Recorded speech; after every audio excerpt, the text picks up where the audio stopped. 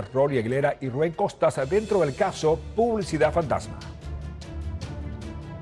El fiscal departamental confirmó la audiencia cautelar dentro del caso Publicidad Fantasma para este viernes en la mañana por los delitos de incumplimiento de deberes, legitimación de ganancias ilícita, recepción de delitos provenientes de la corrupción, malversación de fondos y uso indebido de influencia para tres imputados.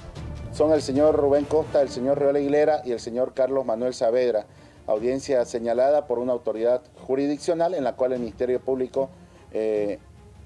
con relación a la comisión que se ha conformado va a estar seguramente en dicha audiencia de medidas cautelares. A la fiscal asignada al caso, dentro de su solicitud de medidas cautelares, si no me equivoco, ha solicitado la medida excepcional de detención preventiva. Sin embargo, ya eso es una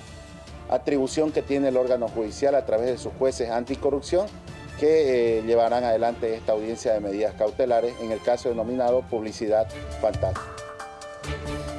Técnicos de la ABC se